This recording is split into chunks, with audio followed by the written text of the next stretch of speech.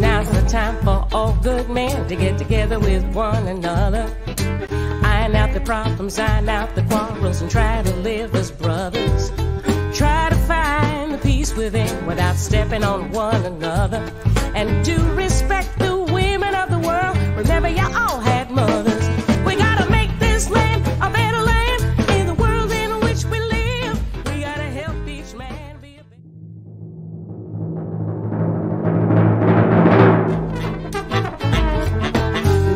Time for all good men to get together with one another.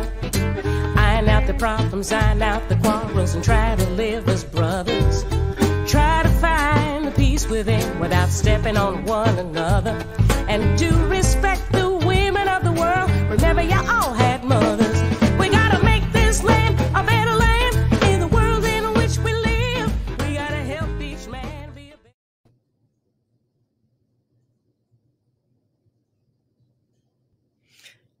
Welcome back to Hon's Healthy Kitchen and the finale of season one of Are We Really What We Eat? We have tackled a complicated subject, and our 19 episodes have demonstrated myriad ways we absorb the outside world into our physical and energetic body. We know now, if we didn't know before, that our health and well being are influenced by far more than what we put directly into our mouths. Tonight, we will open by touching on four more ways to examine the question Are we really what we eat? Because there are brief, these are brief overviews. I've created a PowerPoint, a short one for each. If we do a season two, we will go deeper into each of them. But knowing that some of you may want to learn more now, we're giving you links tonight at the end of each of the PowerPoints.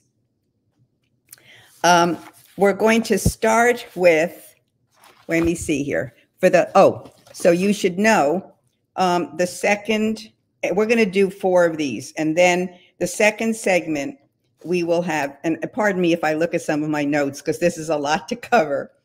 Um, three of our great guests are joining us for an informal conversation. I'm excited about that, and I'll tell you more in a minute. And the last segment will be twofold. The first part will be um, an overview of Hon's convertibles, a creative, easy meal planning strategy I developed when I was a very busy single mom and I had a little daughter, Kiara, um, and was still committed to cooking healthy, real food. And uh, the second part will be, I think, appropriately, some teachings from ancient cultures and indigenous peoples that will close the uh, the segment. All the credits, all the wonderful people who have helped make this series possible will be in the closing credits as well. So, are you ready? Let's get started. Um, we're going to start with uh, talking about food waste. And um, there is a huge problem with food waste, and there are a lot of things we can do about it. So let's let's start. Um, astoundingly, there are 108 million tons of food wasted each year out of the 429 million tons of food produced. That's as of this year, I believe. Um, that means 30% of the food produced is wasted. Another way of saying this is there's two and a half tons of food per person wasted.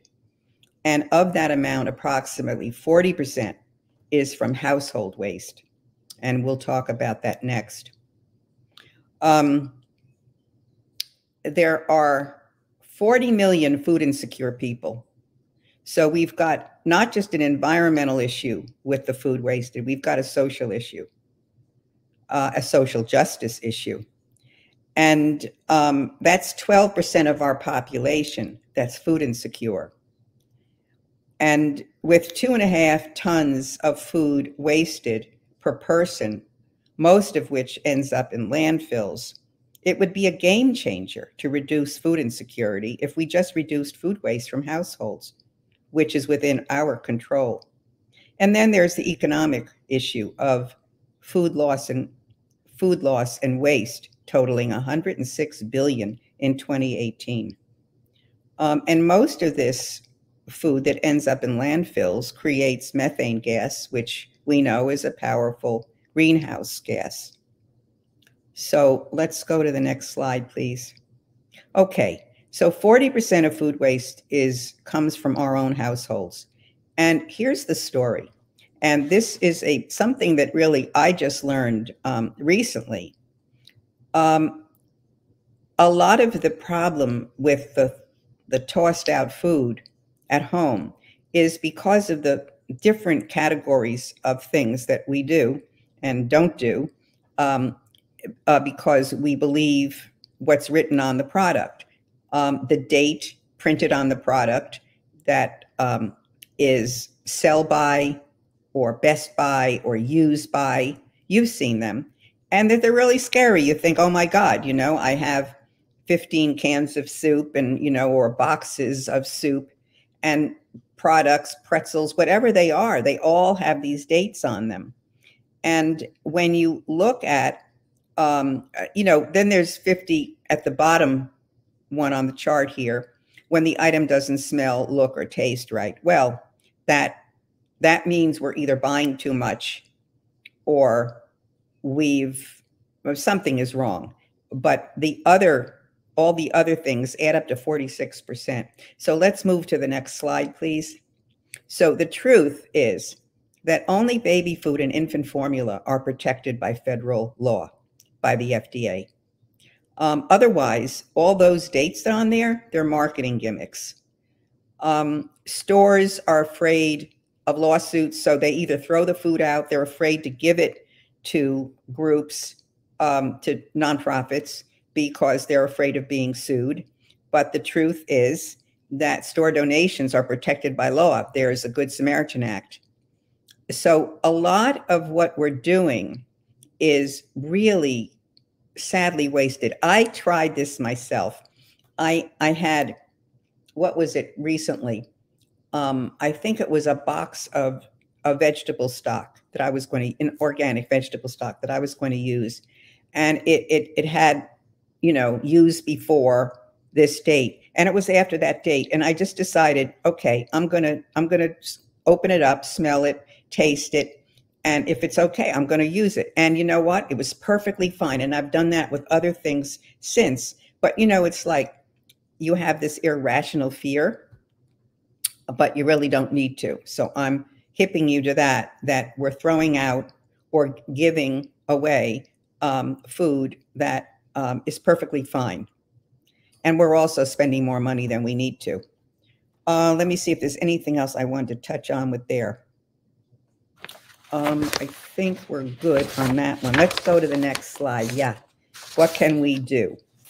So, oh, other sources. Well, yes, um, there is a lot of uh, growers who throw food out, if not perfect, because especially um, those that's been one of the pressures on growers to grow not organically because they think they won't have perfect looking apples or strawberries or whatever the heck they're growing. Um, the fact is that a lot of stores won't take food that's not perfect. And we're also producing more than we need. So let's go to the next slide, please. So, what we can each do is buy only what we need, don't buy too much, shop more frequently. Um, and that can be a problem for some of us, especially if we're busy. But I think if we plan, we can do it without shopping more frequently necessarily. Um, but buy only what you need. Freeze vegetables or cook them up in some way before they go bad. And um, there's a whole volunteer farm effort of, of harvesters who are called gleaners. And that has created a whole new um, business model of upcycling companies like Imperfect Foods. And I see them deliver here in my neighborhood where the foods that are less than perfect, but perfectly fine and fresh, are sold at a lower price. And um, it's a kind of cool business model. So seek those kinds of companies out. Um, yeah. And the other thing you can do is to prep your food as soon as you finish your shopping trip and plan what and when you're going to use it so it doesn't go to waste. You can always make soup or a stock and put that in the freezer. Um, I'll talk a little bit more about that when we get to convertibles in the third segment. And there are some great resources. We're going to watch a trailer. It's just a little over two minutes of a wonderful um, 90 minute podcast on YouTube that I am recommending to you. And there's another resource on there as well. So let's look at that trailer, Jim. I started coming across these numbers about how much was being wasted. And I just thought, how is nobody talking about this? 40% of everything raised or grown is not, in fact, eaten. If that much food is being wasted, how much of it is still good, and can we eat it? Oh, we're trying to survive off food waste right now. Really? Yeah, yeah. Well, 100%. you're gonna hit the jackpot. I'm starting to enjoy this. Is that cold stuff? Can I buy those bananas? Yeah, you want to buy the bananas? Yeah. I'm not going to ask for a deal. I'd rather just not draw attention to it. Supermarkets tell you what diameter, length, curvature, all of those parameters have to be exactly right. Our whole fridge is full of stuff that needs to be eaten tomorrow. This is not a lifestyle that I want to continue. Well, neither do I, so let's stop. I don't want to stop because we haven't proved anything yet. Highs and lows of the project, you know? Highs and lows. Hmm. This is a high point.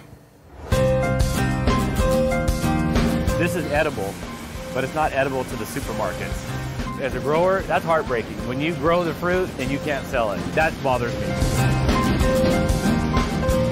Yeah, this would be every week. You wouldn't want to know how much product we would dispose of.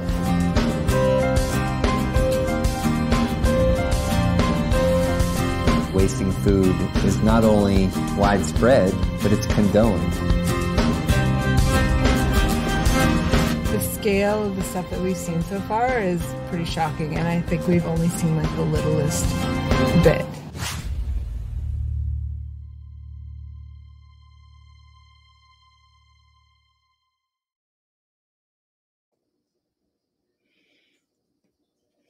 Yeah. All right. Well, let's move on and uh, go into a very different subject, which is kind of interesting. You know, we've been talking in the series about um, what we eat is not just what we put directly into our mouths. And here is a perfect example that um, who knew? We knew the gut is has a microbiome, the soil has a microbiome, and they're connected. But did you know that the skin has a microbiome? In fact, we carry around two pounds of microbes on our skin, each one of us. Who knew? I mean, I, I really didn't know much about this at all.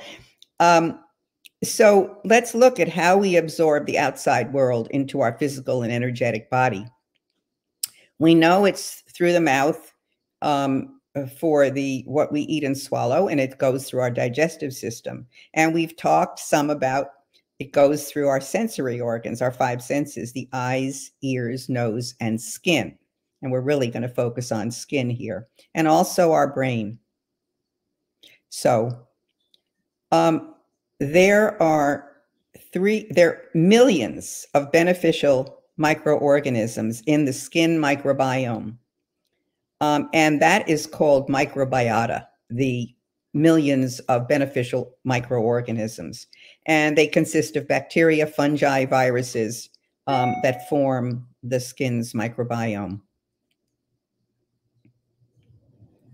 Let's look at the next one. Okay, so if we take a little bit closer look, um, the, what does the microbiome do? It's a barrier. It protects us um, from the outside world.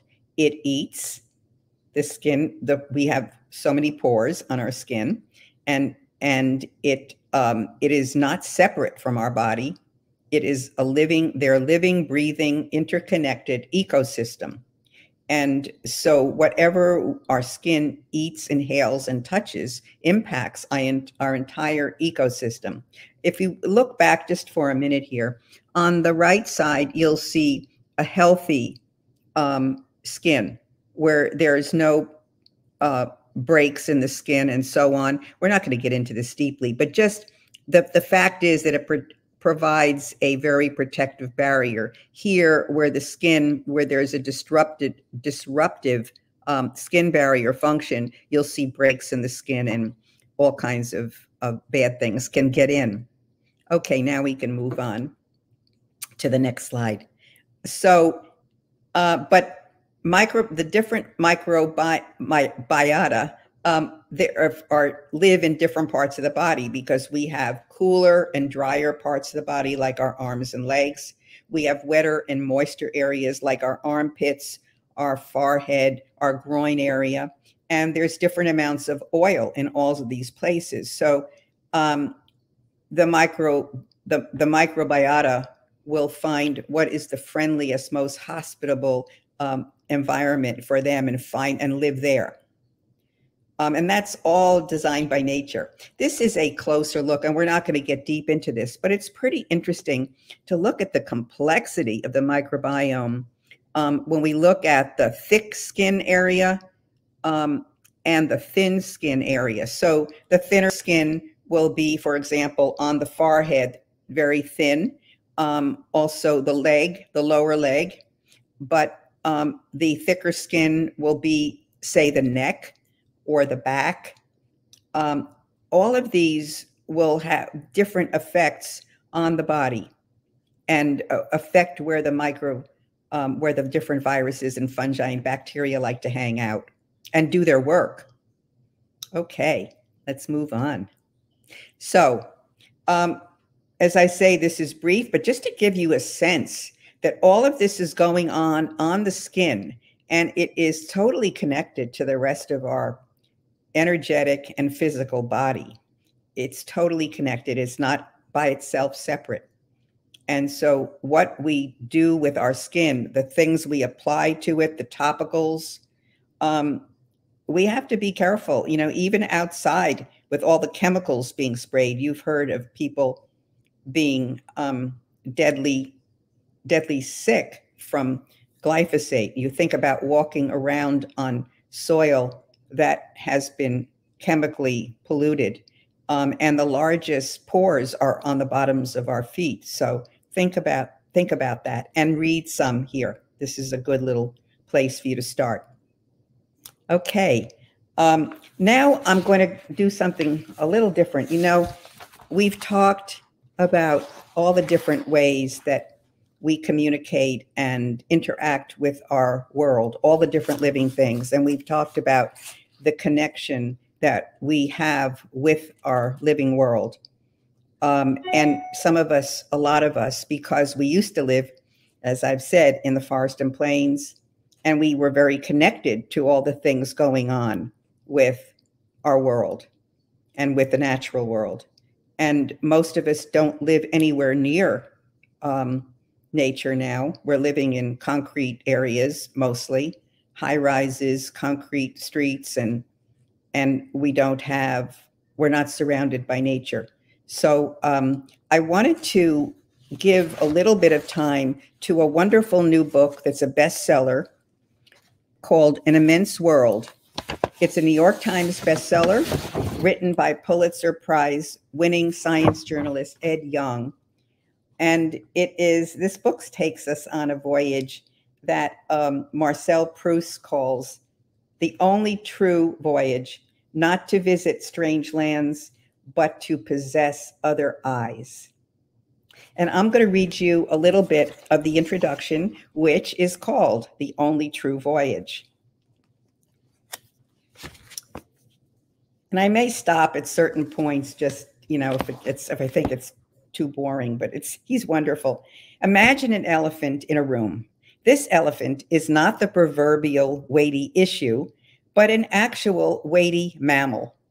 Imagine the room is spacious enough to accommodate it. Make it a school gym. Now imagine a mouse has scurried in too. A robin hops alongside it. An owl perches on an overhead beam. A bat hangs upside down from the ceiling. A rattlesnake slithers along the floor. A spider has spun a web in the corner, in a corner. A mosquito buzzes through the air. A bumblebee sits upon a potted sunflower. Finally, in the midst of this increasingly crowded hypothetical space, add a human. Let's call her Rebecca. She's sighted, curious, and thankfully fond of animals. Don't worry about how she got herself into this mess. Never mind what all these animals are doing in a gym. Instead, consider how Rebecca and the rest of this imaginary menagerie might perceive one another. The elephant raises its trunk like a periscope. The rattlesnake flicks out its tongue, and the mosquito cuts through the air with its antennae. All three are smelling the space around them. The rattlesnake detects the trail of the mouse and coils its body in ambush. The mosquito smells the alluring carbon dioxide on Rebecca's breath and the aroma of her skin. It lands on her arm, ready for a meal, but before it can bite, she swats it away and her slap disturbs the mouse. It squeaks in alarm at a pitch that is audible to the bat, but too high for the elephant to hear. The elephant, meanwhile, unleashes a deep, thunderous rumble, too low pitched mm-hmm. for the mouse's ears or the bat's, but felt by the vibration sensitive belly of the rattlesnake. Rebecca, who was oblivious to both the ultrasonic mouse squeaks and the infrasonic elephant rumbles, listens instead to the robin, which is singing at frequencies better suited to her ears but her hearing is too slow to pick out all the complexities that the bird encodes within its song.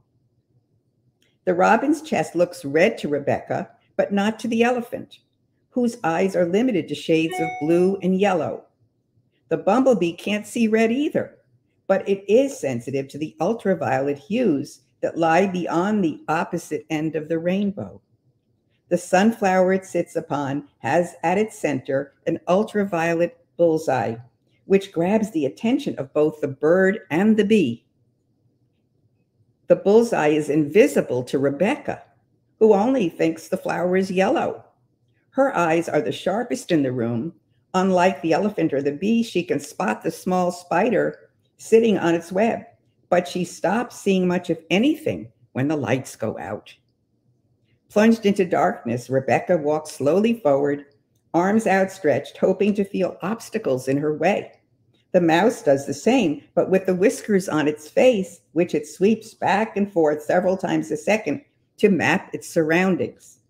As it skitters between Rebecca's feet, its footsteps are too faint for her to hear, but they are easily audible to the owl perched overhead. The disc of stiff feathers on the owl's face funnels sounds toward its sensitive ears, one of which is slightly higher than the other. Thanks to this asymmetry, the owl can pinpoint the source of the mouse's skitterings in both the vertical and horizontal planes. It swoops in just as the mouse blunders within range of the waiting rattlesnake. Using two pits on its snout, the snake can sense the infrared radiation that emanates from warm objects. In effect, it sees in heat, and the mouse's body blazes like a beacon. The snake strikes and collides with the swooping owl. All of this commotion goes unnoticed by the spider, which barely sees or hears the participants. Its world is almost entirely defined by the vibrations coursing through its web, a self made trap that acts as an extension of its senses. When the mosquito strays into the silken strands, the spider detects the telltale vibrations of struggling prey and moves in for the kill. But as it attacks, it is unaware of the high frequency waves that are hitting its body and bouncing back to the creature that sent them the bat. The bat's sonar is so acute that it not only finds the spider in the dark, but pinpoints it precisely enough to pluck it from its web. Bye bye, spider.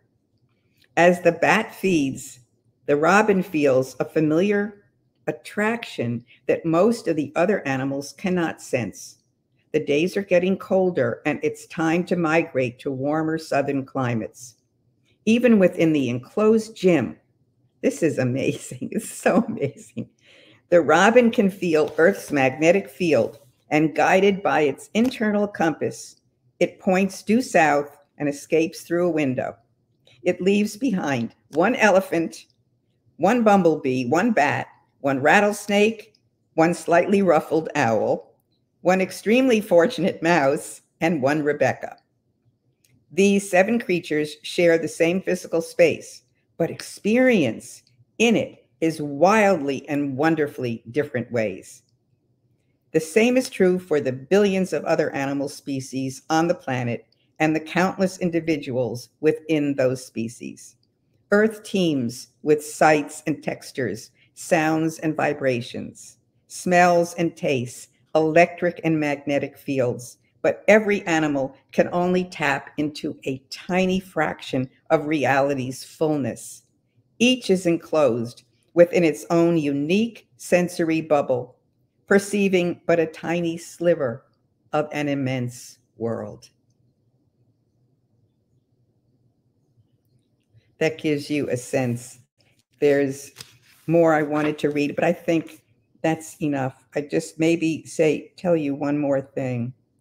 Animals are not just stand ins for humans or fodder for brainstorming sessions. They have worth in themselves.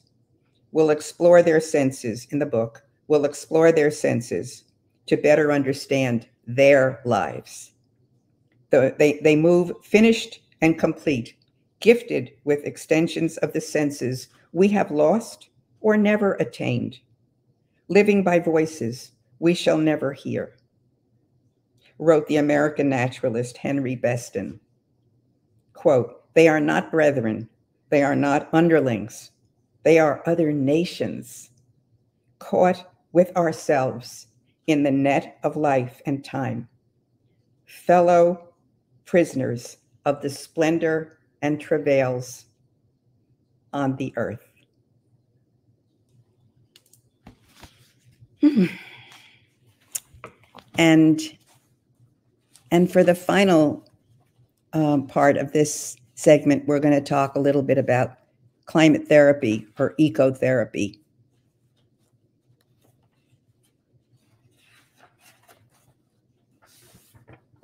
Isn't that a beautiful picture? It's like an embrace. Love it. Once again, um, here we see there really is no separation between the inner and the outer worlds, between personal and planetary health. Whether psychologists and ecologists now see their connection to one another, or farmers show the connection between healthy soil, clean water, healthy humans, and a healthy planet. The underlying truth is that all living things are connected. All living things are energy. And as Clara Favale said so beautifully in, in her biodynamic craniosacral episode, what affects me affects the tree out there, that bird on on it, and my next door neighbor.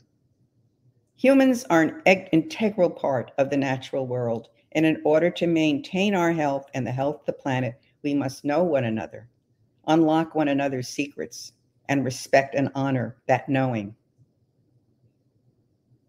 So, nature is cheaper than therapy. Now, when we talk, you know, about the wellness equation. There's no question that um, nature is therapeutic for us. And um, the role of, of, of the ancient, the wisdom of ancient peoples um, is is all about that. Um, they're so they were so connected. They still are so connected, and we will close um, with some of their wisdom. But um, the Greenway book restoring the earth, healing the mind. It's interesting. Uh, there's a quote from it. It's what he he describes as the um, the book is about a tool for understanding the relationship between humans and nature, for um, diagnosing what's wrong with it, and for paths to healing it. So um, we have a lot of anxiety about what's going on in in the world of the natural world and how much destruction there has been um, by humans. And uh, I mean, just yesterday in the paper, the whole thing about the, the hottest day in the UK, and there's now fires there that they'd never had before because of the heat. Um, so there's a lot of anxiety about the um, about what's happening in the natural world and the climate crisis. So um, it's especially important. Two things. One is um, nature is therapeutic, but we need to take care of nature. We need to try to repair uh, because it's um, otherwise we won't we won't have it. Um, and that's yeah, and and there yeah. So I think um, what studies show, it's really interesting. Just 17 minutes outside um, each day can uh, help heighten your mood, your focus, your sleep, and even sex drive. And there were some studies done. I didn't include the um, the sources here, but just for an example, students at the U of M, my old alma mater, experienced 20% better memory after taking a walk through a local park. And, you know, when we talk to Shelley Galloway in a little while, you will see that, um, I mean, she will talk more about it, but Shinrin Yoku or forest bathing is um, one of the great ways that we can do this. People in Japan were 55% more relaxed after spending the weekend in the forest and 23% more relaxed for the next month, even though they were no longer walking in the forest further, you know, that, that month. Um, just direct exposure to sunlight can increase libido by as much as 40%. And who doesn't want to increase their libido? Do I hear anybody? Um, hikers at UC Berkeley had 46% better creative thinking skills after returning from a trek. Um, I think there's no question that our nervous system is downregulated, and um, we feel a whole lot better just getting outside and breathing um, you know, and, and turning off the devices. And uh, there is a book um, that's a very interesting little journal that Patricia Hosbach wrote, and it's new, called Grounded. I thought you might be interested in it because it's another way we can re- reconnect in, uh, with the power of nature and with yourself. It's that, again, it's that connection between nature and human and understanding and just appreciating all the different things we find outside and stuff. It's a fun little journal. I bought it myself. So that's where we'll end um, this segment. And I am excited to introduce um, our three guests who are joining us today. Again, today, they um, Joe Thompson was with us for episodes one and two and um, I'm just looking for my yeah too many papers, and uh, and then there uh, Joe has 35 years experience in planning and implementing conservation and environmental. Where is Joe? There he is. Hi, Joe. Hi, hon. Great to be with you again. You too. Um, and you've done a heck of a lot over your life, and it's been very consistent. Um, but I'll, I'll brag a little bit about you, okay? Yes. Um, planning and implementing conservation and environmental restoration programs. Um, Joe is currently the board chair for the Thomas Jefferson Soil and Water Conservation District and the Thomas Jefferson Water Resources Protection Foundation. Uh, Joe also advises and facilitates production and distribution of grains from local growers and organic, of course. And for 30 years, served on the USDA Natural Resources and Conservation Service in four states in California, Nevada, Oregon, and of course, Virginia. So, um, yeah. So, you know, Joe, um, you were kind enough when we started the series to provide the foundational information and perspective um, that only you would have working with protecting soil, water, wildlife on the west and the east coast with with ranchers and farmers. Um, and I'm wondering what you, what, however you want to comment about what we just those four segments we talked about, or um, you know, whatever, how more we could help and get involved with our local organizations that are trying to protect land and water and so on. Sure. Um, a couple of things uh, really struck me. One, the food section, the food waste section at the beginning. Um, Yeah. There wasn't any discussion of composting, which I thought would be a good addition. Um, it's at least a way to be sure that the food that is not consumed gets utilized and cycled back into the system to produce more food. Yeah. Uh, definitely were right as far as the amount of it. I, when I was working in California, um, one of the areas I was responsible for oversight in was the San Joaquin Valley, which is probably one of the most amazing places in the world uh, for food production 12 months out of the year. Hmm. And to see Where's that? Where, which part of California is that? um, that is south of San Francisco, between the coast and the Sierra Mountains. Um, it's the main valley there, and there's um, Fresno is at the south end of it. Okay. And it's just just incredible to see, you know, the volume, and it's primarily um, vegetables and fruits uh, because the ground is Tomato area, right? Big tomato area also, yes. Um, but to, uh, as you noted, um, they're at the very beginning of the production process, uh, particularly in conventional agriculture. There's tons of food that's just left on the ground or on the vine or in the trees. And so the gleaning project, which is something actually, first time I was in contact with that was 40 years ago in Oregon. Wow. Um, and it's been around a long time. And it is a great, great way to retrieve um, and utilize, you know, right from the very beginning, food that's not going to make it into the markets, um, which Yeah. is, you know, high quality, ready to go. So, so that that was interesting to me on that part. Brought back some interesting memories for me, and uh, and the composting part of it, we're really lucky here in the city of Charlottesville because composting is really simple. Uh, we have a local center that uh, is operated for recycling, but also for compost, and they supply compostable bags that you can utilize in your containers uh, to put your food scraps in and make sure at least it's making it that far. Um, Do you know they- the- do you know, excuse me, but do you know the link to that or the name of it?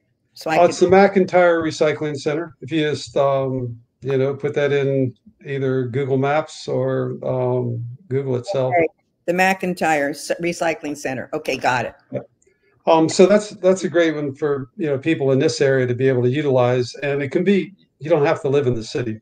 Um, if it's within convenient driving distance, you can you know take it there. Okay. Um, and so that, or you know, composting yourself is relatively simple, particularly if you have any space at all. Um, it's a simple process. It's a know, very natural. in Manhattan or the, the green markets, which are the farmers markets here, um, uh, they have a recycling place. So anybody who wants to go to the green market can bring their stuff and they'll take their, their composting stuff, which is another good way. The farmers market would be a good place to collect. Yeah, and they do at the Saturday markets here in town too. They do. Okay. Yes. Um, so that is another option. That's a good point. Good. Um, so so that that aspect, and I think it's a really important one, particularly the expiration date uh, discussion. Um, I had picked up on that. Fortunately, I had heard an individual speak and address that about seven or eight years ago, and it is a real eye opener to realize that those dates aren't there to actually protect your health. Right. Um, more about marketing. Um, so it's a, a real good piece of information to share with people. Uh, the other the other thing that struck me relative to two things. One, kind of the the very end of the presentation, talking about the trauma or depression associated with you know the condition of the earth right now, and what's going on. In a rather jaded way, um, I have total comfort with it because I understand that we can disappear as a species.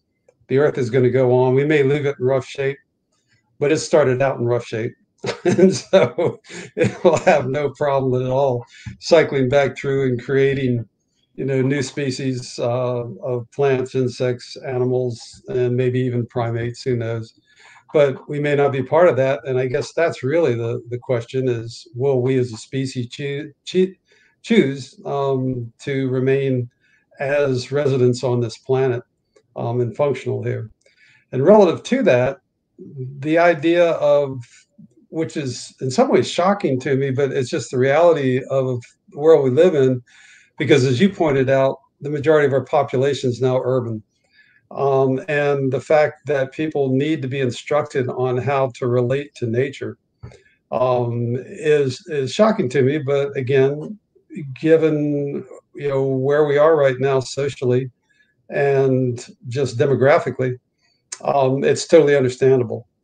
But it's amazing. One of the the things, which I'm sure is in one of the books, um, that people can do that will just be incredible for them is to take their shoes and socks off and just stand on a piece of earth. And I don't care where it is, um, even if it's you know in the middle of a parking lot and it's a strip where there's some trees.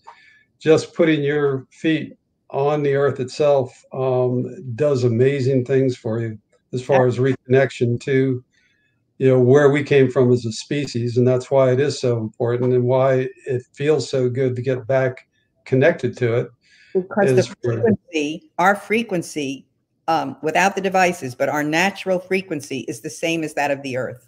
Exactly. So and it makes total sense. That's where we came from. Right. Exactly.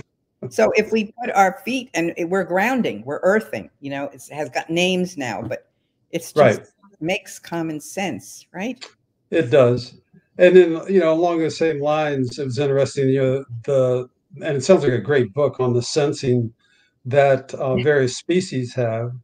And, and we have lost that, some of that because if you read old journals, um, particularly ones written by Western Europeans when they came to North America, they talk about the fact that uh, the Native Americans that were here, the people, the nations that were here, um, those individuals had much, much finer sense of smell. I mean, they could track animals by sense of smell. Yeah, yeah. Um, same way with hearing. Uh, hearing was much more acute and vision. And it's because they lived in the natural world and didn't have artificial noises that skewed their ability to hear and understand what was going on around them. Great point. Yes. And, and so we do, as as a species ourselves, have much more potential than what we currently can get in touch with. Yeah. You know, I mean, people talk about we only use a minute part of our brain, and it's the expression use it or lose it. You know, mm-hmm. those exactly. mind right away talking about that. Exactly. So that, and then you know, just for myself, um, I, I've just been incredibly fortunate because from the time I was very young, I always was, you know, wandering around outside. Um, it was the last place I wanted to be was stuck inside a building, and ended up with a with a uh, job that allowed me to do a lot of that and see just some incredible um, different scenarios in nature. I mean, everything from extreme high elevations where at first glance it looks really barren, but when you start looking close, incredible life forms that are transforming, you know, stone into earth, um, and a lot of species that make you know that their that's their habitat, and yeah. everything from that down to the desert itself. Um, I went to school in the, the low desert, and people ask me, "Well, in New Mexico, southern New Mexico," oh. and people ask me, "Well, they come and visit. They say, "Well, there's nothing there. You know, how can you possibly enjoy it?" And I said, "Well, you just need to slow down um, and really look Open and your eyes and, and your senses and Exactly, and yeah. it's as just as rich as it is in you know the most biodiverse jungle habitats. Um, yeah. Once you really get attuned to it, so it's just that that you know all these you know areas on this planet have all these species, you know, which was brought out again in the book on senses, that have all evolved to utilize you know the area that they're low physically located in and yeah. adapt by mod- modifying their senses and their abilities to fit fit into a niche um, that interplays with all the others. Uh, and that's that's the other part of it is just you know really grasping what's been known for quite a while that it is all connected. Um, we're connected, and we're not any really not that much of a, a different than the other species you talked about in that scenario in the gym. Yeah. Um, and we have our own niche. We have our own way of sensing. We have our own way of surviving. The big difference, of course, is um, we have the potential to pretty much destroy um, the Earth as we know it, and it would have to more or less start over again yeah. uh, with that capacity. But we also have just the inverse, the ability to figure out how to live, uh, you know, more of a modern uh, life and do that in a way that's totally attuned to the energy sources that are here um, and not impacting them negatively at, at all. Uh, and that's why we use that term, you know, reusable or renewable or um, because they really are. Yeah. I mean, as, as long as that big star keeps shining on this planet, we've got all the energy we need, and that energy gets expressed in a lot of different ways. Um, yes. It's just a matter of tapping into that. And and you're and you're one of the stars that shine brightly here. So um, I thank you're you. very kind. true. You you've lived, you've walked the walk. You know, in your bare feet on the soil, on the earth, and and you're doing that. So and you've been doing it for years. So um, we always can learn more from you and um, the folks like you who uh, were gracious enough to be part of the series and i just hope that we can make somewhat of a difference. And um, i appreciate your support. If you want to hang here while i introduce um, jan uh, that would be cool. I mean if you want to participate you're welcome to it's up to sure. you. Yeah? I'll just I'll just stay on the side, and you know if a Jim will keep you on. Let's bring Jan on. There you go. Hey, Jan. Hi there.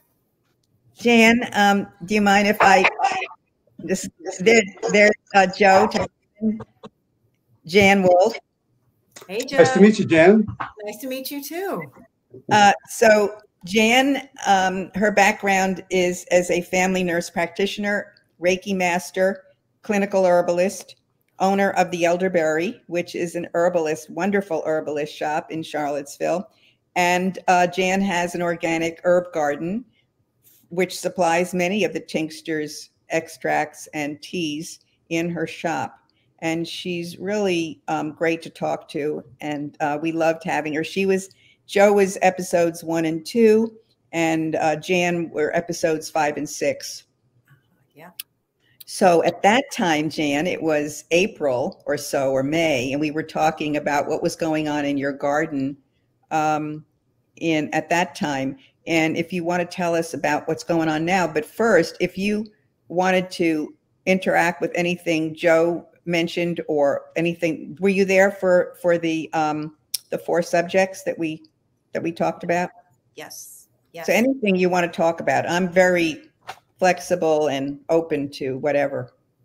Well, when it was interesting, Joe, when you were talking, because um, Kat Maier, who's one of the local herbalists, is doing a workshop the end of this month in Sage Mountain in Vermont, which is Rosemary Gladstar's, who's like one of the grandmothers of the American herbal movement, is having a workshop about medicine of place. And mm -hmm. so she has like a botanical sanctuary up there, which is filled with medicinal plants. And the whole weekend's going to be spent about being aware, how to be aware, how to communicate with plants, how to be, how to observe um, different things. Um, and so it's more on like an energetic, I don't want to say spiritual, but it's, it's something that Native Americans or indigenous peoples around the world would really, really be very familiar with their local, you know, um, flora because that's how they use their medicine and their food. And so they were very attuned to the seasons and how things changed and when it was time to harvest and when it was not when it was time to plant. So um, when you were talking about that i said yeah that really that really makes sense. So um, so this what, time of year is she is she is is this um, open to anyone or is it just open to clinical herbalists? No i think it's open to anyone. And um, it's rosemary gladstar Rosemary Gladstar, and it's Sage Mountain, and it should be next week. And I don't have more information than that, but um, look it up. I'm sure. Kat, Kat Maier on Sacred Plant Traditions website will have information about it since she's one of the people that's teaching there. Okay. Um, uh, you know, all ancient peoples were in tune with um, the cycles because they depended on it. Yeah. Agriculture was, um, it was all done by hand. It was all done by feel. I mean, that's why, you know, who was it? The Mayans supposedly, you know, knew this thousands of years ago. And I'm sure ancient Israelites did, and all the ancient peoples. Yeah. Um, their calendars were based on agriculture because, and the holidays, because they were so grateful and thankful. The, you know? Yeah, it's just that that whole big difference between you know living continually outside, what we call outside, what to them was their world. Yeah. And it was just like we know where a doorknob is um, in our house. I mean, really, they Yeah. knew. You know, they could look at the sky, and they could tell you exactly where they were relative to either their village or where the hunting grounds were, or where the water was, or anything else, without looking at anything else, because it was just from the time you were born on, um, you were attuned to that. And we could rely on the farmer's almanac much better than these weather forecasters sitting in some, right? I mean, that was the real deal. These guys are sitting in God knows where, far removed. What do they know? Yeah, they were very attuned to like the clouds and the winds and things, and they could go and Mhm. get a good sense of what's coming next. So, um, yeah, yeah.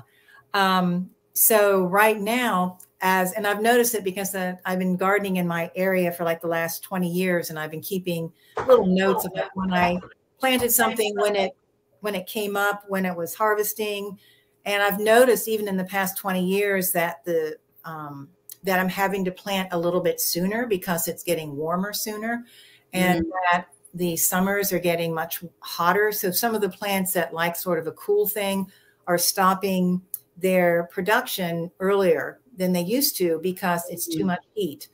Um, so Like I can just see that in the past 20 years. Like, for instance, like calendula, which is a wonderful herb for, um, it's very soothing. You can use it topically, you can use it internally, and it's very sensitive to coolness.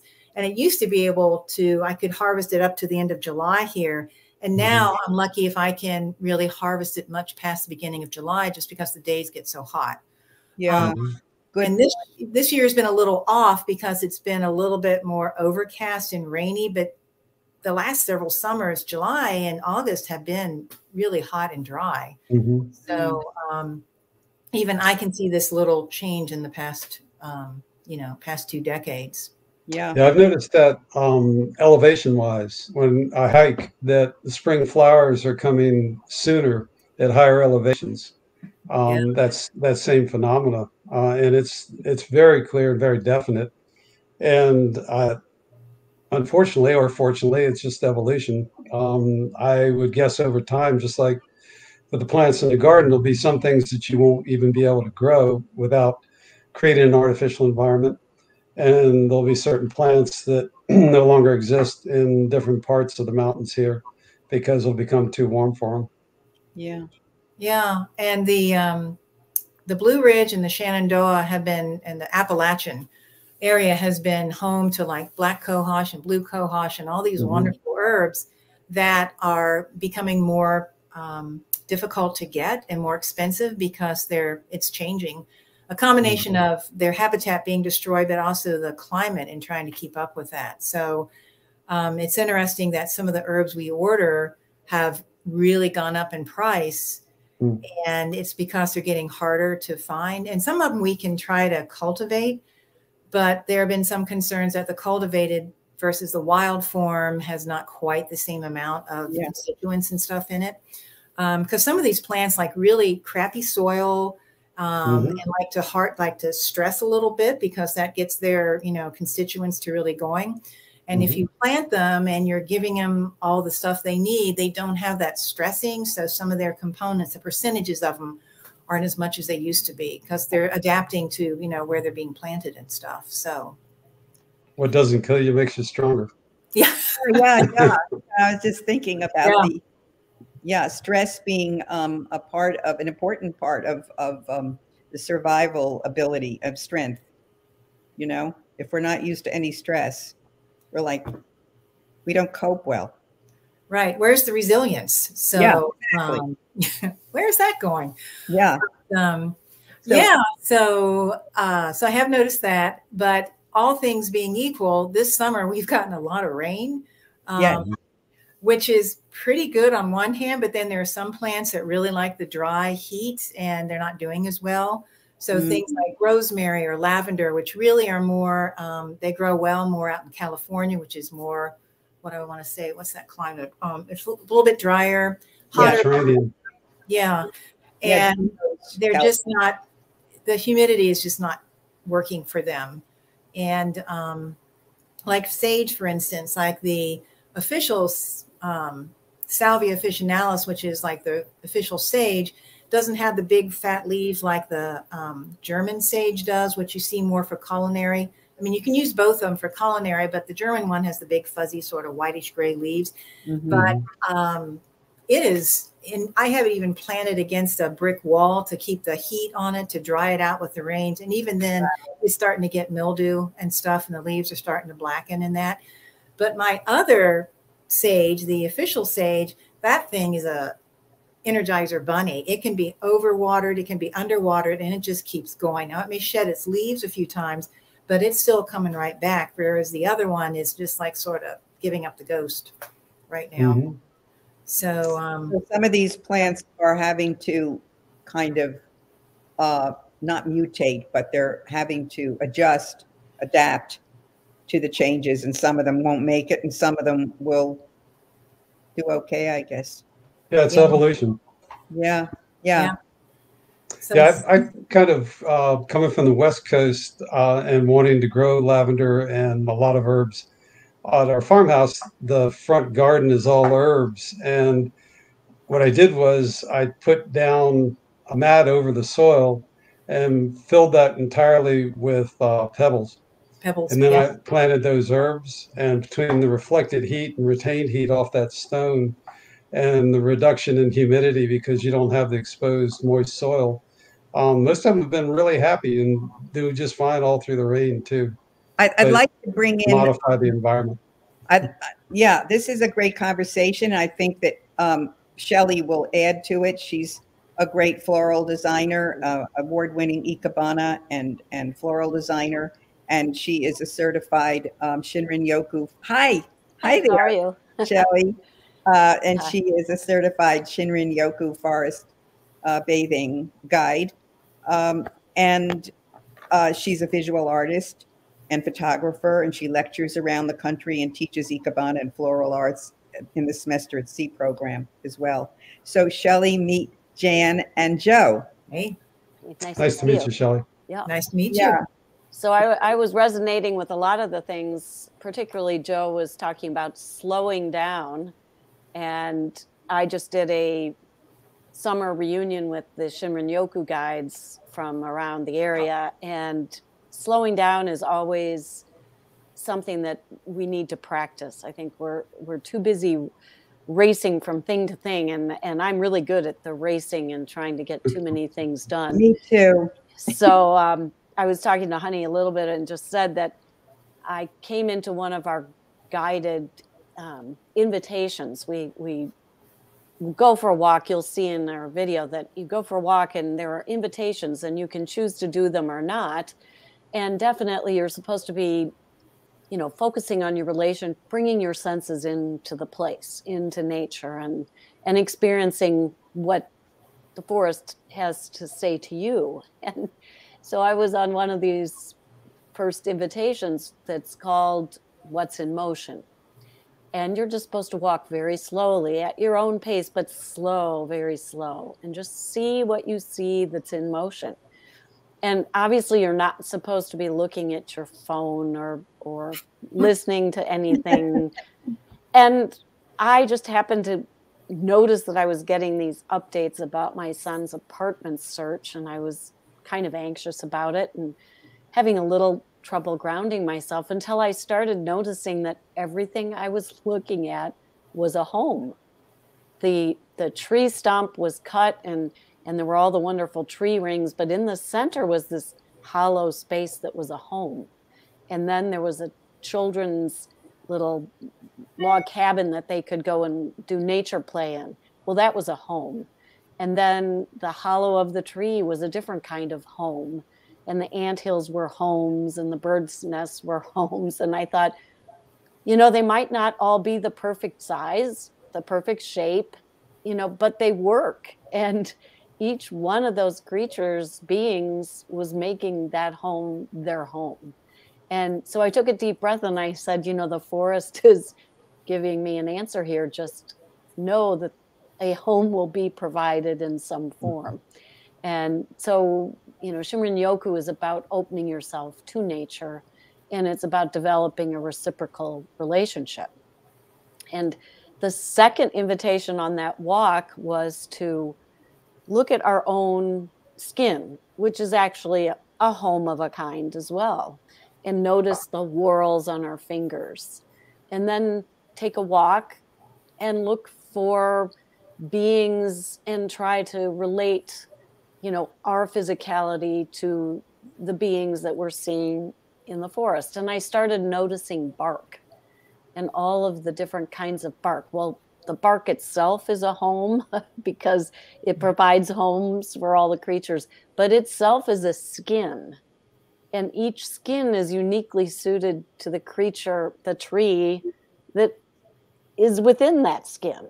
And some people have eczema, some people have dry skin, some people have oily skin, but the trees also have their skin. And that's another kind of home. So the whole walk was about home.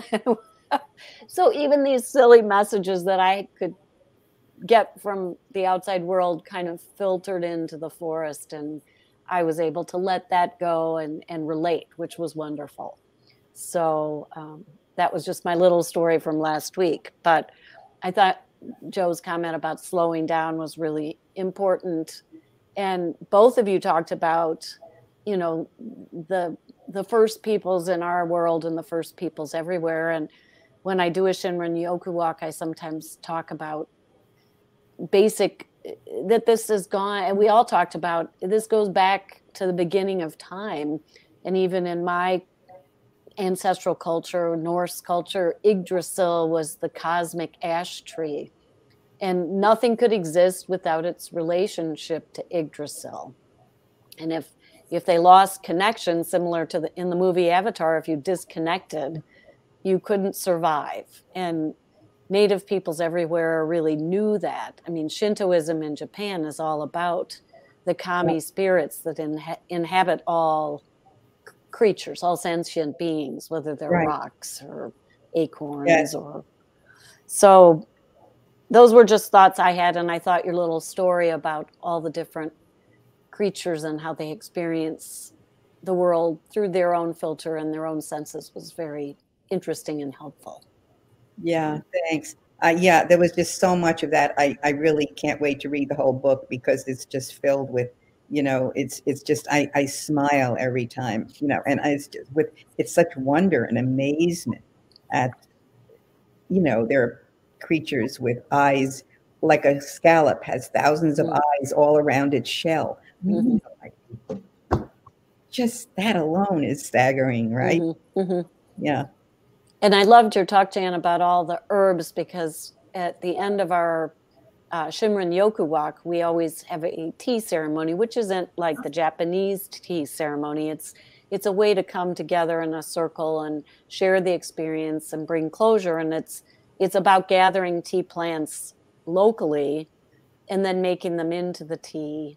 I'm lucky I have um, anise hyssop in my front yard. Yeah. And I just I love that. And we had uh, you were talking about plants that struggle to survive. And we, the one tea that we had this week, she called it a pineapple plant. And it grows oh. in disturbed soil. And it, it, it has a little kind of a, a dome shaped. Sounds like chamomile. It looks like chamomile and it might be in the chamomile family mm-hmm. but it, it, it likes disturbed soil and it often grows in parking lots in the gravel. Huh. And we, we had a tea made out of that and it was just delicious. Wow. So sometimes, you know, the plants you least expect to provide you with a flavor are there for for the sampling. If you Was it know, flowers or leaves? Or it was both? leaves and then this little dome cone shaped center of the plant. I don't. I have it written down, but I don't have my notes in front of me. But she did call it pineapple plant. Send it, send it, and then I'll pass it along. Yeah. Because sometimes the common names for things, if you I go to a different state, they'll have it's a totally different plant. Exactly. Well, Um, and this lady was from California. So, but she leads walks everywhere. I'll just have to, I'll put it, if I find it while we're still on, I'll post it in our chat. Okay. Yeah. Don't look at your phone though now. No, I'm not going to. I'm not going to. so, any questions from any of you? I mean, you all have your own area of expertise, and I'm I'm just really just certified in this. So, Yeah, I'm- you've been doing ikebana and flowers and right and eh, it's interesting i'm i'm doing a photography show which is all it's titled kintsugi which is uh, another japanese art form where you take a broke, uh, broken ceramic usually a tea uh, cup. And if it's broken you you heal it back with gold leaf so that the healed object is more beautiful and more whole than it was Wow. before it was broken. So my whole show is about is is more a it's more of a metaphor. It's about healing and self-acceptance. And i have found the Shinrin Yoku practice to be really essential because if you walk in the forest the plants and the animals and beings are not judging you or determining what you should or should not be doing. It's a an open dialogue. So i've found it to be very helpful in that sense. Yeah, that whole concept of, of an open dialogue when you're walking in a natural setting really relates a lot back to um, the original approach uh, that hunter gatherers had with hunting.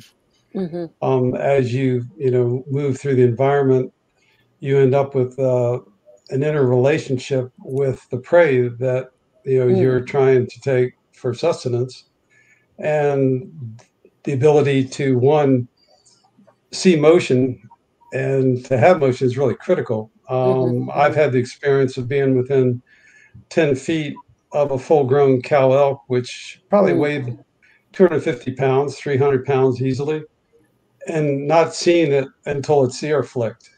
Wow. The entire animal.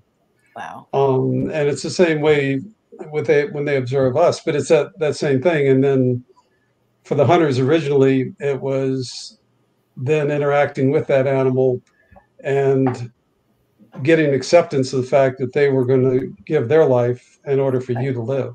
Right.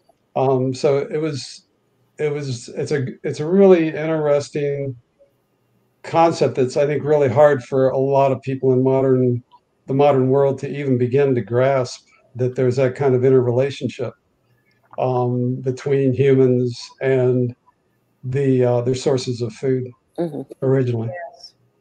And it, one thing I learned last week that I really had not realized um, there are certain communities of people that are not comfortable going in the forest. And that is trauma informed by where they grew up, how they were raised, what fears they had. Um, you know, in the South, young black men were cautioned from by their families not to wander into the woods you Yeah. know and that's hopefully passed but not necessarily. And so they need to approach Shinrin Yoku differently and we need to understand that. Um, one woman that I was sending on an invitation told me I said um, we were near a sensory bed where there were lots of fragrances. And I said you know wander along the bed and perhaps you might want to touch the plants and see what fragrance you you know you acquire on your hand and then bring to your nose and what memory does that bring to you?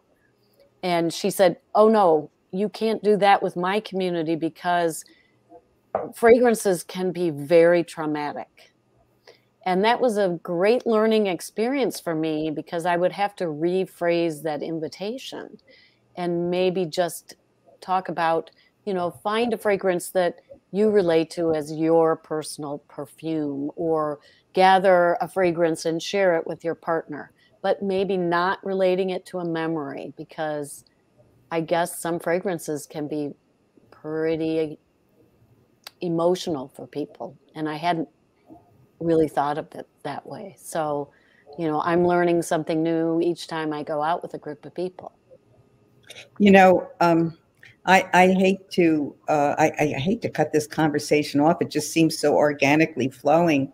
Um, but I'm I'm supposed to end at eight thirty, and um, I still have to cover some of of um, other stuff. So I I wish um, I'd like to have a redo, a retake, and just keep going because uh, I really like where this conversation is going and has been. It has its own. It has its own path, right? Yeah. So um, thank you so much, each of you, Shelley, Jan, Joe. Um, and I, I, if you can stick around, I would love that. Um, and um, what can I say? Thank you. Thank you. Well, it's kind of um, it's it's a non sequitur to say we're going to have a completely other thing, but um, they were wonderful. Uh, talking a little bit about. Oh, thank you, Willie. Ah, my friend is watching from New York City. Um, so we're going to talk a little bit about Hon's convertibles, which is, uh, isn't that a great Eldorado? Caddy. Um, whether the top car's top is up or down, whether it's red, yellow, tan, or black, whether there's just the driver or the driver and several passengers, whether it has a GPS, a stereo system or not. Well, of course, the caddy predated that. This car still runs and goes to the destination set forth by the driver.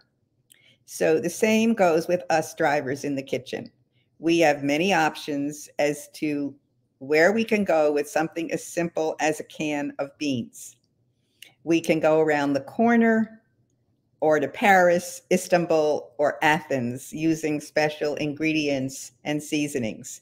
We're the driver, and it's up to us which of the hundreds of menu items we want to transform that can of beans into. As long as we're driving, we decide, and that's the fun of it.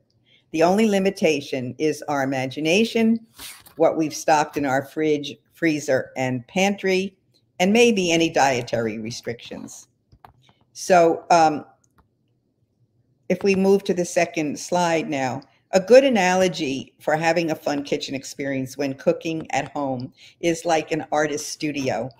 You'd never think of an artist studio without all the colors, the brushes, chalks, canvases, pencils, easels, cloths, smocks, containers for mixing, tape, paint remover, all of that.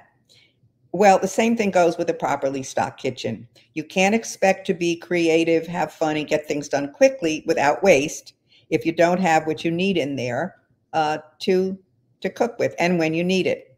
So these ground rules are here to guide you like a roadmap for your convertibles, whatever colors you choose. Um, and for cooking at home to be your best friend, it should be easy, creative, delicious, and fun, reduces food waste, be okay with your budget, organize and simplifies weekly meal planning, and you control uh, where you get your food and how fresh it is. And um, this works. This method works whether you're live alone or whether you're part of a family or a group. Um, so that's where to start. With with convertibles, what I do is I have three main convertible base groups, and um, we'll talk about those in a minute. And then uh, then we review and select from a bunch of recipe categories, which I have, And then we make a weekly meal plan. But first, we check the fridge, freezer, and pantry inventories. Then we make the meal plan. And then we make a shopping list. So, the recipe categories. You know, I just did this because sometimes when you're thinking about making a meal plan, it's hard enough thinking, what am I going to buy? You know, so I think it helps to have these categories. Um, and of course, there could be others too, but this is just, you know, a good place to begin. There's a lot of here. Uh, wraps and sandwiches, of course, that includes paninis, tacos, burritos, all of that's in one.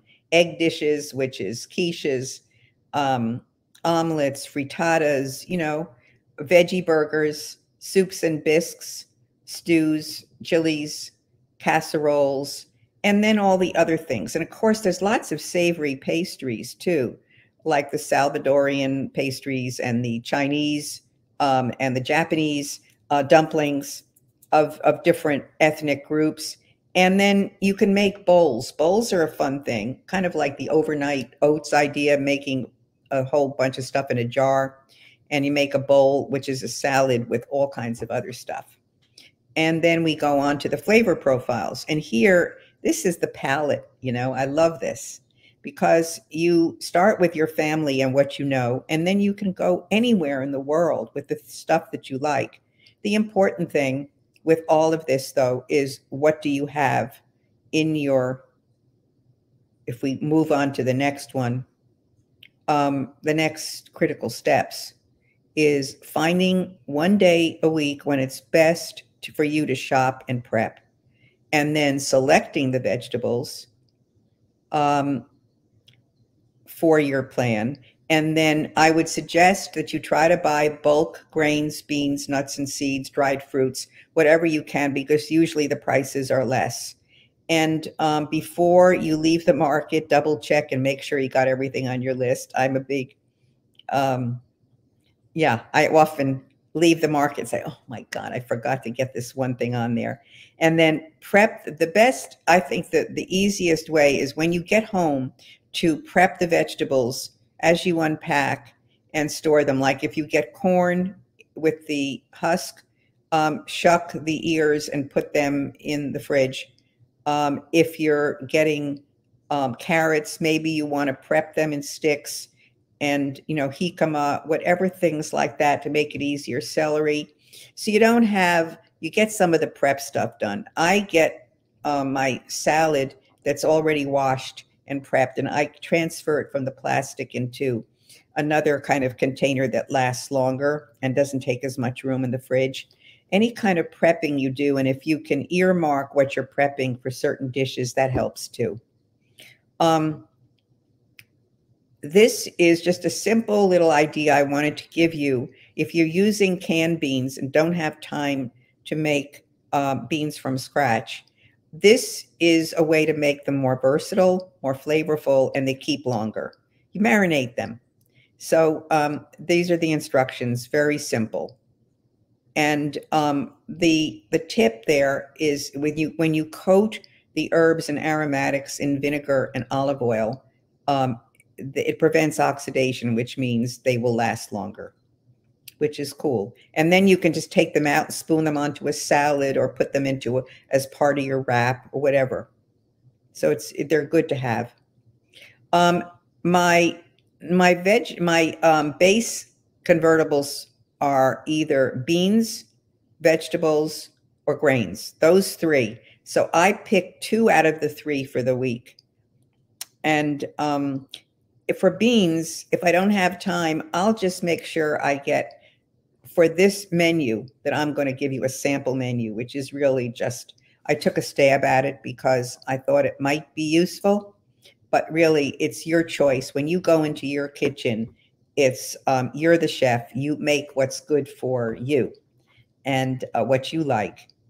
And so with vegetables, I either I always make in bulk. They're always enough for three or four meals, um, depending on how many people in your family. But that's really what you you want to have enough so that you're not cooking every day.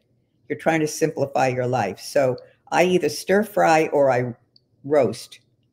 Um, and you know we don't have time to go into that now, but one of the things I was thinking about, if any of you would be interested, we can do like a three, four um, session just on convertibles and weekly meal planning and making it fun and coming up with really good recipes for making some of these things. But um, make I make a grain medley every week, and I make at least one vegetable stir fry, if not two, with different vegetables. So I'm getting a variety of grains and vegetables. And beans, if I don't have time, I will um, just open a can and then I will use them in such a way that they get flavor. And sometimes use the liquid in there. You can, um, if you're a vegan, you already know this, but there's something called aquafaba. You can whip it up like whipped cream, and uh, it's it's fascinating. But that bean liquid turns into like a cream um, that you can use in different ways for desserts and for savory. Um, so I pick out the stir fry vegetables I'm going to make my list. Um, if I don't have, I check my pantry, my fridge, and my freezer first. If I don't have enough, I, I buy grains and I buy enough that I store in, in jars so that I have enough for at least a month. Um, and I will buy four cans of beans, two different kinds or three different, whatever you want. Um, I'll buy them. Then I'll buy salad fixings and sauces and dressings if needed. Um, make sure I have enough of my avocado oil for um, high temp cooking and extra virgin olive oil, which is EVOO. Um, I make sure I have my sprouted grain uh, whole wheat muffins or tortillas, avocado or guacamole, hummus, veggie stock, eggs or vegetable protein that substitute for eggs like tofu and tempeh, and seasonal fruits um, and bananas. Um, I always have enough of those on hand, and that's my my prep. Um, this is a simple, a sample meal plan. And I will send that to you along with uh, this. You know, it doesn't make sense to me to go into it all, but I think that I would love to send it to you just so you can see it. Um, and and then you can write me with any questions. And um, I will send you that, and I will send you my recipe for my sweet potato black bean veggie burgers that are vegan and no oil.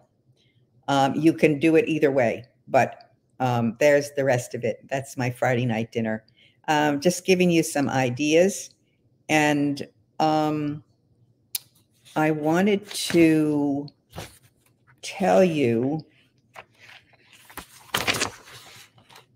yes. So before we go to the um, the closing part of of this uh, hour and a half we have, we're getting kind of close.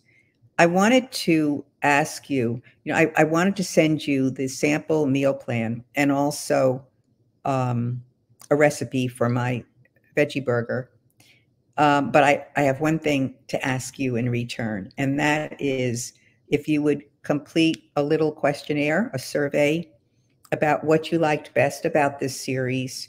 Um, and if you would also um, like to see a season two, and if you would like me to do a cooking series, if you'd like to do more on convertibles or whatever, you know, whatever your ideas are, I'd love to hear them. And uh, and then you send them to me at honeypeacock at gmail, and I will send you um, the the sample meal plan and the recipe. Um, so let's just move into this last part. Um, I opened the series expressing gratitude for all of you who cared enough to who supported me to make this project happen. And um, as we close, I want to once again thank you each of you who care enough about our planet and who are trying to make it a better place for all of us to thrive in community. And I give special gratitude to our natural world for bearing with us humans and the errors of our ways. May we do better tomorrow and the day after. It seems fitting to give the final word of the evening to the ancient cultures and indigenous people of the world who continue to have the closest connection to Mother Nature, who understand her secrets, and who have so much to teach us. We leave you this evening with 10 indigenous teachings. Good evening and onward. Let us celebrate life and health. Jim, will you help me with the affirmations? Would you start, please? We'll each read one.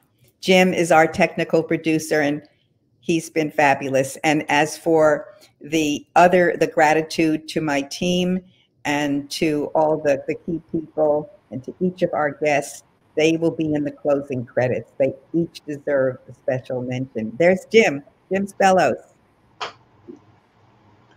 The earth is our mother. Care for her. Honor your ancestors through your actions. Open your heart and soul to the Great Spirit. All life is sacred. Treat all beings with respect. Take from the earth what is needed and nothing more. Put the good of all before your own interests. Give constant thanks for each new day. Speak the truth, but only of the good in others.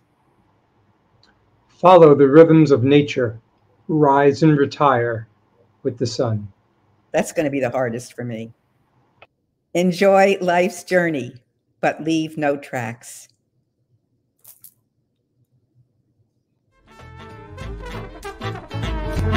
Now's the time for all good men to get together with one another.